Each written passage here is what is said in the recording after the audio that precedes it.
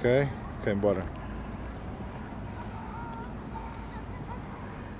Não sei se isto vai resultar em edição, mas depois logo vemos.